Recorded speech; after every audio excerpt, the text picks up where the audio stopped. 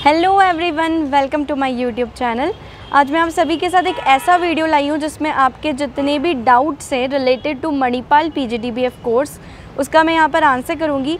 मैंने एक पहले एक वीडियो डाला था my Manipal PGDBF course experience आप इसे एक बार चेक कर सकते हैं। जिस दिन मैंने ये वीडियो डाला था, उसके बाद से मुझे इतने सारे कॉमेंट्स आ रहे हैं, जिसमें काफ़ी सारे एस्पायरेंट्स ऐसे ऐसे डाउट्स पूछ रहे हैं जो उन्हें, जिससे उन्हें समझ ही नहीं आ रहा है कि एक्चुअली में ये प्रोग्राम होता क्या है और इसमें हम जाते कैसे हैं।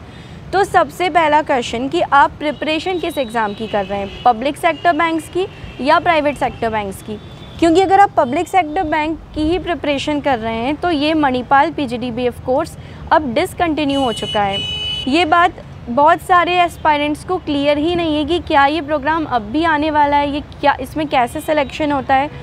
तो मैं आपको ये बताना चाहूँगी कि सबसे पहले ये प्रोग्राम बैंक ऑफ़ बड़ौदा ने स्टार्ट किया था और एक या दो साल पहले ये जो प्रोग्राम है, ये डिसकंटिन्यू कर दिया है और अब शायद बैंक ऑफ़ बड़ौदा कभी भी इसके थ्रू वैकेंसी लेकर नहीं आएगा।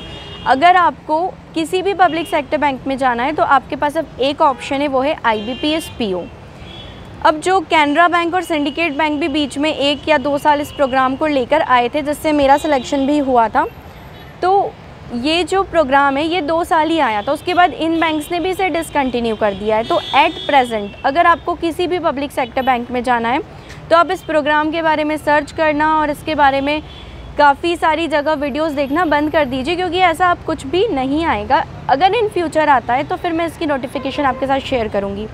अब काफ़ी सारे एस्पायरेंट्स कमेंट्स में ये पूछ रहे हैं कि इसके लिए कहाँ से अप्लाई करना है, इसकी लिंक कहाँ से मिलेगी?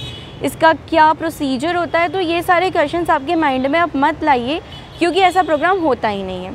अब हम बात करते हैं प्राइवेट सेक्टर बैंक्स वालों की, जिसे, जिसका एम नहीं है कि उसको पब्लिक सेक्टर बैंक में ही जॉब चाहिए। तो हाँ ये प्रोग्राम उनके लिए अभी ओपन है। I bank HDFC bank Axis bank RBL bank ऐसे काफ़ी सारे बैंक हैं जो इस प्रोग्राम के थ्रू आपको बैंक में जॉब देते हैं। लेकिन उसका जो प्रोसीजर होता है, उसकी कोई एग्ज़ाम इंटरव्यू जैसे पब्लिक सेक्टर बैंक हुआ करती थी बीओबी कैनरा बैंक में वैसी नहीं होती इसकी सिलेक्शन प्रोसेस इसके लिए आपको उनकी इंडिविजुअल जो वेबसाइट है, जैसे आई बैंक की एक्सिस बैंक की, वहाँ पर जाके इसके बारे में सर्च करना पड़ेगा।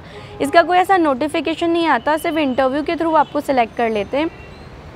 और इसका जो प्रोग्राम होता है, उसकी जो फ़ीस होती है, वो नॉन रिफंडेबल होती है। लेकिन अगर वहीं बात करें कि जब ये पहले पब्लिक सेक्टर बैंक में आता था तो इसकी फ़ीस रिफंडेबल होती थी। और जो पब्लिक सेक्टर बैंक की सैलरी आप उसको कंपेयर नहीं कर सकते प्राइवेट सेक्टर बैंक की सैलरी से।